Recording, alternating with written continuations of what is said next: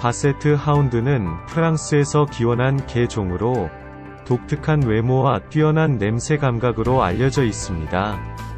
짧은 다리와 늘어진 귀로 특징 지어져 쉽게 알아볼 수 있습니다. 원래 사냥용 개로 사용되었으나 사랑스러운 외모로 가정 애완동물로도 인기가 있습니다. 바세트 하운드를 자세히 살펴보겠습니다. 기원과 역사 바세트 하운드는 중세 프랑스에서 시작되었으며 짧은 다리를 가진 개를 만들기 위해 번식이 이루어졌습니다. 바세트라는 이름은 그들의 독특한 낮은 몸매를 나타내는 프랑스어로 낮은을 의미합니다.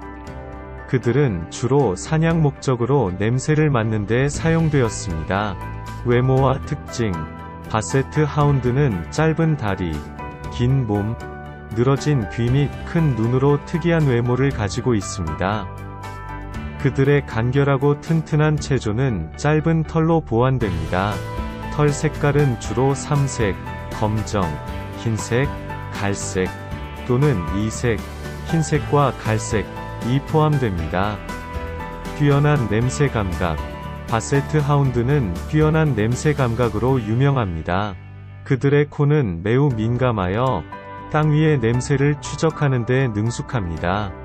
이 특성은 역사적으로 토끼와 여우와 같은 동물의 냄새를 추적하는 데 사용되었습니다. 성격과 행동 바세트 하운드는 친근하고 애정 어린 성격으로 알려져 있습니다. 종종 느긋하고 온화한 성격을 보이며 가족과 함께하기에 좋은 동반자입니다. 일반적으로 다른 개와 동물과 잘 지내지만 고집스러운 면도 있어 훈련에는 인내와 일관성이 필요합니다. 운동과 훈련 바세트 하운드는 차분한 성격을 가졌지만 규칙적인 운동이 필요합니다. 산책과 놀이 시간을 즐기지만 짧은 다리로 인해 과도한 장거리 운동은 피하는 것이 좋습니다.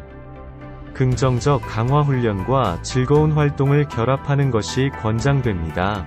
건강과 관리 바세트 하운드는 특정 유전적 건강 문제에 노출될 수 있습니다.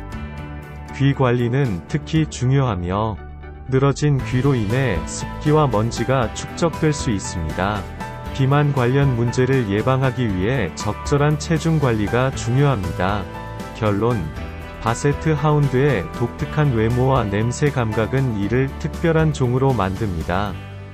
그들의 친근한 성격과 매력적인 외모로 인해 사냥 동반자로서와 사랑받는 가정 애완동물로 모두 인기가 있습니다.